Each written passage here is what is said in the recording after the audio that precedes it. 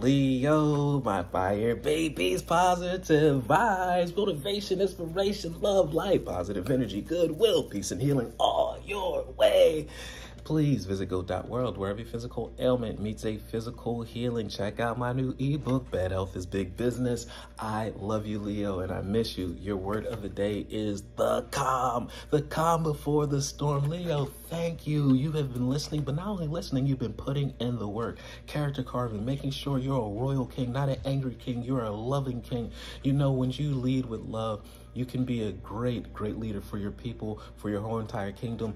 Everyone is following your light and your example right now, Leo. If you know or if you if you know or unknowingly, people are watching you, they're seeing how you're navigating your storms and they're mimicking you to the T, to the exact same frequency whatever you're doing. So make sure you lead with love, confidence and confidence and strength. Be calm because you say to calm before the storm, the storm of blessings. We're coming into a new season. Therefore, a rain of blessings are coming your way. So chill, relax. Do not make sure you're putting all positive energy, not repelling it with negative energy or doubt. You look doubt and resentment in the eye, watch it run away and cower, and then you just keep on moving down your path of manifestations, blessing, going to your promised land, and people are following your light. People are following your lamp and your fire. I breathe and I live and I grow with the light within me. It's all positive energy. You are royalty. You are the top tier. I do one thing at a time and I focus on the present moment. I need you to be focused.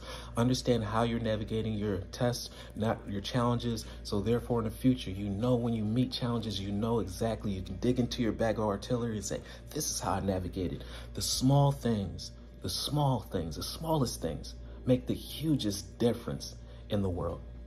I cast off all doubts, and fear dissipates, and I find peace within my being. Fear, resentment, grudge, hate, everything, doubt, it all fears you. Look it in the eye, it will run the other direction, and you continue on your kingly route. So please, please like, share, comment, subscribe. This page been a blessing to you. Be calm, be positive, and I love you.